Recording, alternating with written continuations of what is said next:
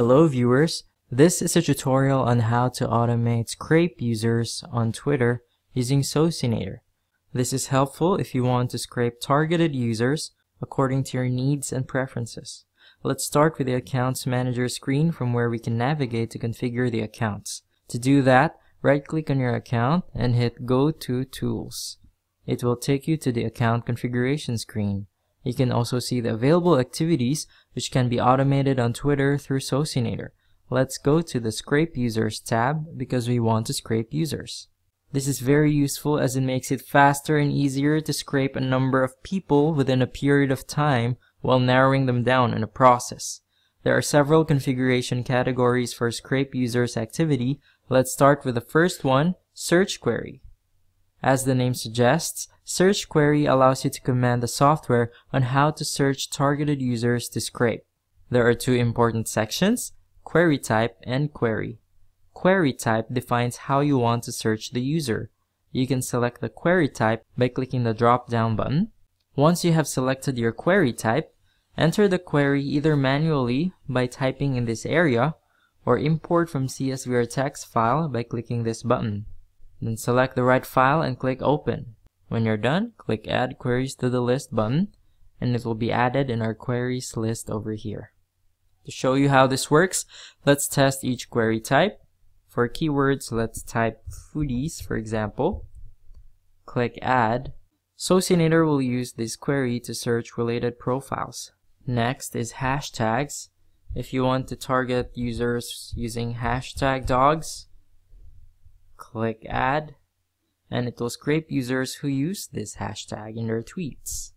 For location users, the format is keyword colon city colon country colon distance. Let's say the keyword is games, colon city is Tokyo, colon country is Japan, colon distance is 15 for example. Click add. So this will target users who use these location specifications. For near my location, you can use keywords only. Let's say you want to target dogs. Click add.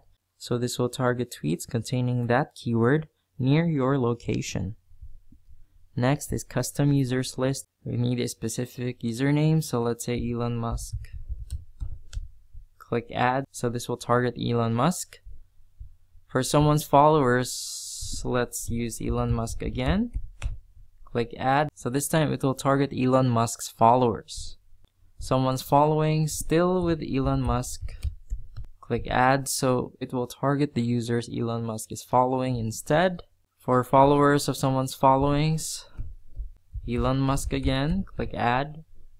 So it will target the followers of the users Elon Musk is following. For followers of someone's followers, add Elon Musk. So this will target the followers of Elon Musk's followers and scrape them. For users who like tweet, you need a specific tweet URL. Let's say this particular tweet. Copy the link of the tweet and paste it in the query box in Socinator. Click add. So users who like that tweet will be scraped. For users who commented on tweet, let's use the same tweet URL. Click add. So this time it will target the users who commented on that specific tweet and users who retweeted tweet, same tweet URL, click add. So it will target the users who retweeted that specific tweet. Finally, we have user scraper campaign. So you can copy the campaign ID from the user scraper campaigns you have created through Socinator.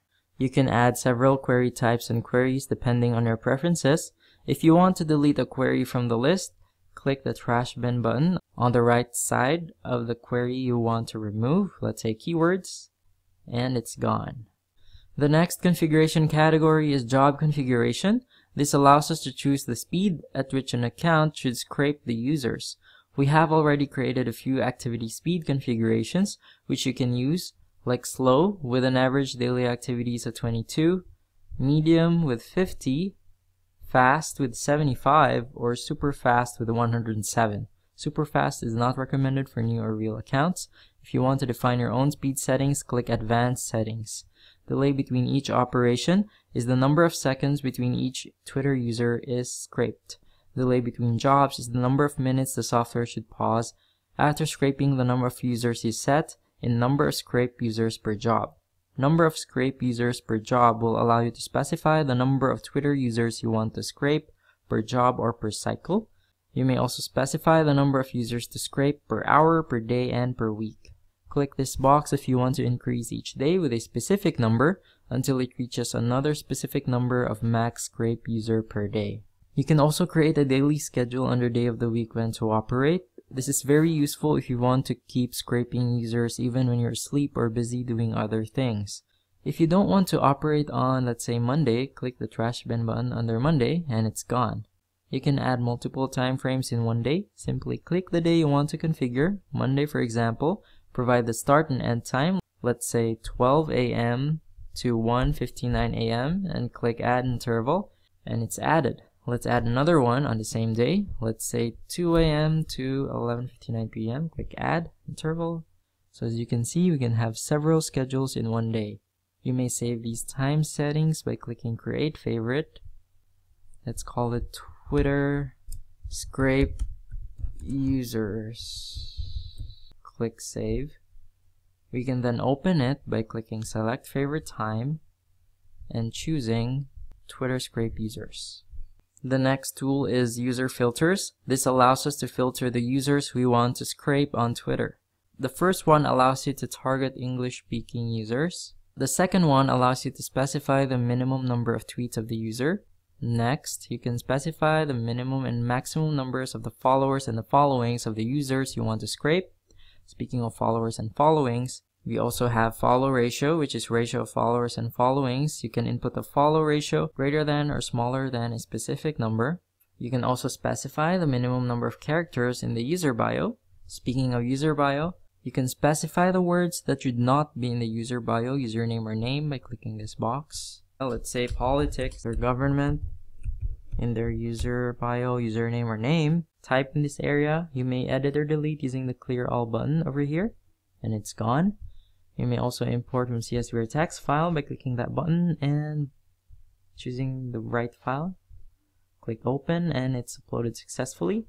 Click save when you're done. The next one is the opposite of the previous one. So words that should be in the user bio, username, or name. So let's say you want to scrape users who are into pets, cats, dogs, for example. Type in this area, separate each word by a comma.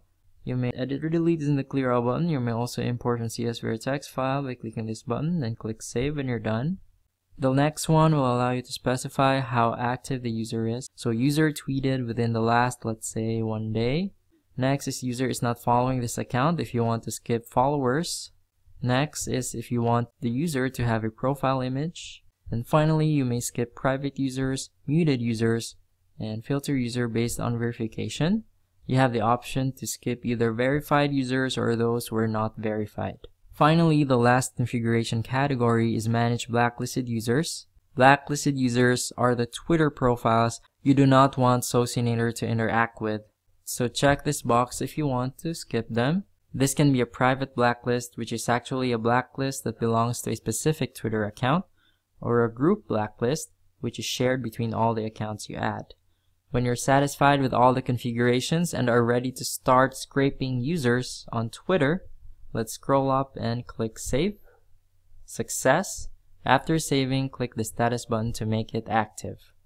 You may view the list of users you scrape by clicking the Reports button over here. Now that it's active, let me show you another option in automating scrape users on Twitter using Socinator. This one allows us to create campaigns, which is perfect for multiple accounts. To start, let's go to the upper right corner of the app and click the social drop-down button and select Twitter. This will take us to the Accounts tab.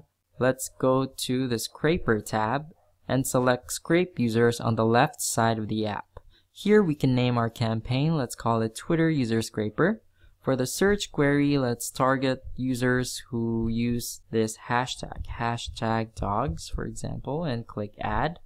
For job configuration, an average daily activities of 22 should be okay, so let's select slow. For user filters, let's target English speaking users. users with profile image, and skip private users, as well as blacklisted users. When you're ready, click the blue button select account or accounts. In this part, we can select multiple Twitter accounts. Since we only have one account right now, let's go with that by checking the box and click save. After saving, let's click the red button, create campaign. If you want to proceed, check the box of the account and click the save button. And this will automatically bring us to the campaigns tab where we can see that we have successfully created our Twitter user scraper campaign. Click the status button to pause the campaign and the action button over here will allow us to edit, duplicate, or delete the campaign. You may also click the report button over here to view the list of users you have scraped. And that's it for this tutorial. I hope you learned a lot and thank you so much for watching.